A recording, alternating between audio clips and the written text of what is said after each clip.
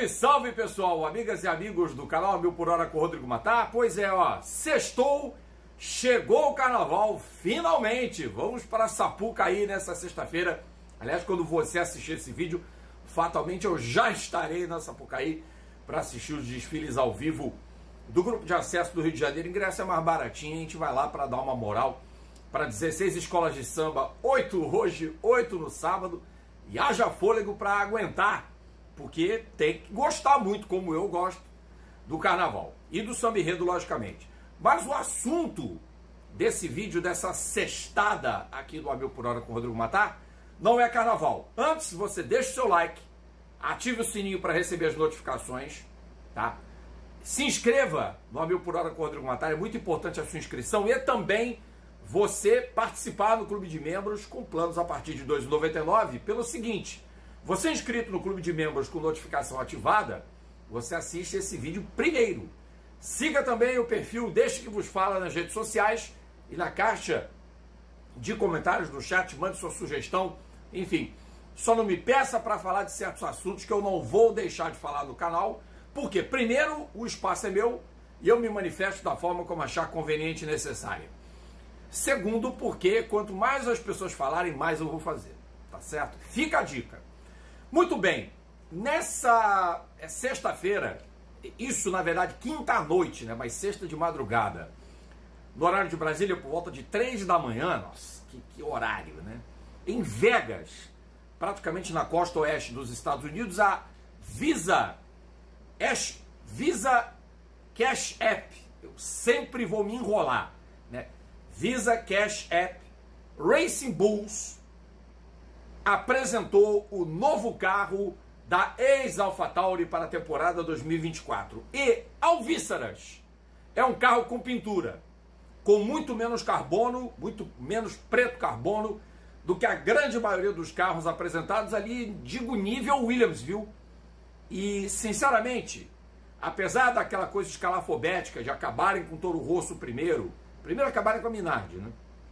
Depois acabarem com o Toro Rosso Agora com a AlphaTauri, que não era um nome mau, e veio a Visa Cash App Racing Bulls, a RB, e será chamado de Racing Bulls pela transmissão oficial daqui do Brasil, pelo que eu já soube, a equipe apresenta talvez um dos melhores liveries da temporada 2024 e um carro que vocês vão ver o vídeo né, e depois nós vamos falar a respeito. Um carro que emula demais o Red Bull de 2023.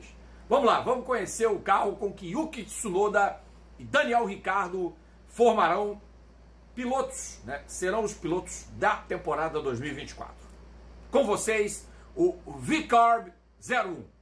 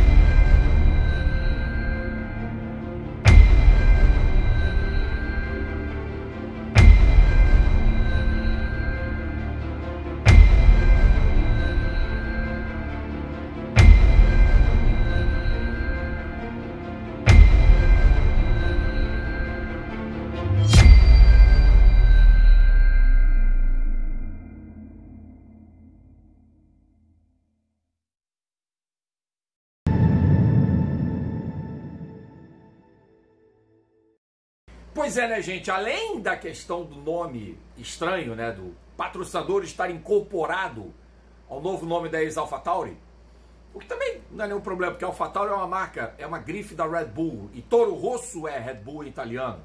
Foi uma maneira até feliz de criar uma nova escuderia, partindo da antiga Minardi. Mas a, o V-Carb lembra muito low carb, é essa coisa de comida é, de baixa caloria, então fica um tanto quanto esquisito. Mas é, esse novo projeto, de novo, não tem muita coisa não. Sincero e honestamente, ele incorpora diversas soluções do RB19, do carro da Red Bull, que correu e estapeou a concorrência em 2023, ganhando 21 das 22 etapas que compuseram o calendário do Campeonato Mundial do ano passado. Todo o sistema de suspensão é cópia do Red Bull RB19. A caixa de marchas é a mesma. E outros componentes da parte de aerodinâmica também emulam muito o carro rubro taurino do ano passado. Então muita gente vai se perguntar: será um clone, como era o carro da Racing Point em relação à Mercedes? Ou o, o, o Ligier de 95 e também de 96 que era muito parecido com a Benetton, aliás, também o de 97, aí já era Prost, os carros de Ligier barra Prost Benetton, até 1997, eles eram muito iguais. Muito iguais, porque o Flávio Briatore comprou a Ligier, para quem não sabe, para receber os motores Renault.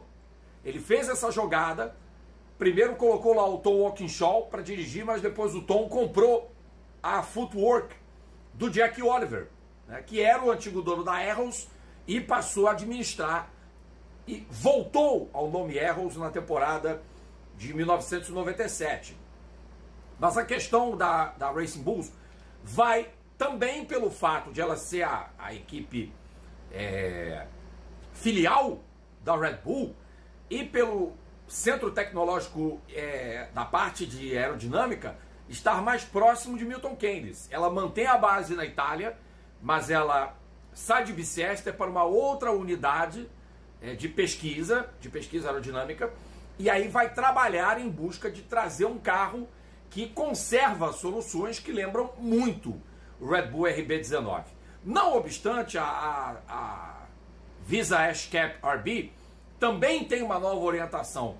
Tem o Lohan Mekis agora na direção, tem muitos outros integrantes que vieram de outras escuderias a equipe foi reestruturada, tudo para tentar fazer um papel mais digno em relação à última temporada, onde a AlphaTauri chegou a ter o pior carro do grid, embora o Yuki Tsunoda tenha feito uma temporada assim bem honesta, mas a questão do, do segundo carro ter sido revezado por três pilotos foi um problema, especialmente até a décima etapa, quando o Nick De Vries, depois de não fazer nada, foi demitido.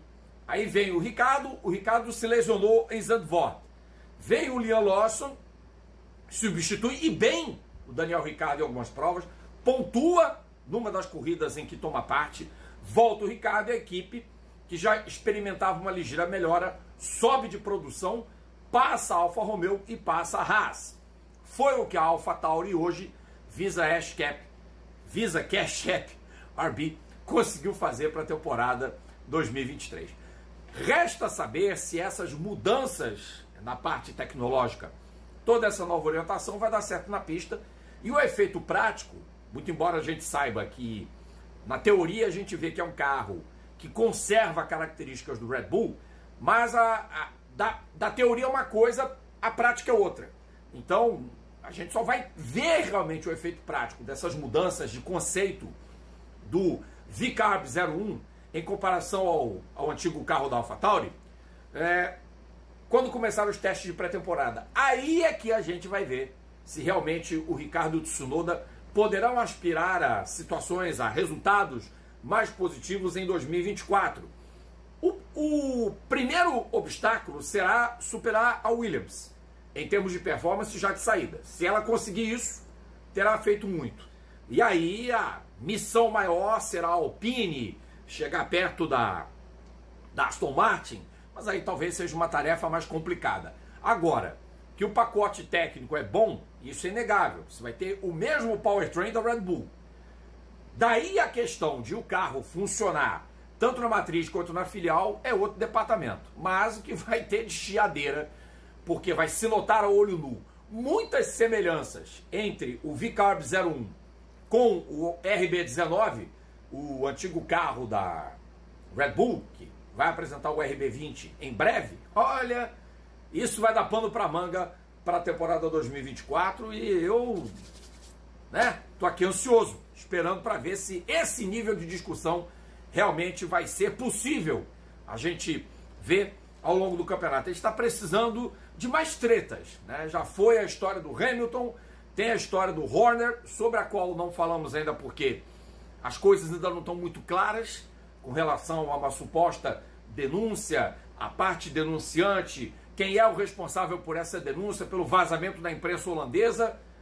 Por isso que o blog, o, o, por isso que o, o canal ainda não se manifestou. O Abel por hora não se manifestou a respeito dessa questão do Christian Horner, exatamente para não criar ilação. Né? Sem coisas concretas não tem muito sentido fazer nenhum tipo de ilação contra um cara que eu particularmente eu não gosto. Mas enfim, vamos respeitar que esse silêncio até é incômodo, é, eu concordo, existe um silêncio muito incômodo, mas talvez a coisa esteja caminhando. Então vamos aguardar para ver o nível da discussão que a gente vai chegar por aqui.